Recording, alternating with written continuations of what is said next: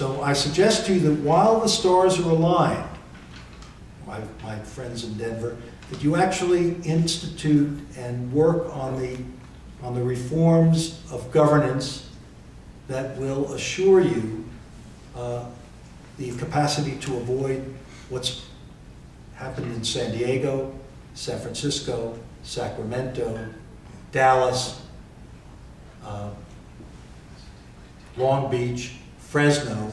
Every one of these school boards is dominated by employee groups. And again, I want to underline, employee groups use the tools at their disposal in elections that no longer matter very much to the people who participate in them.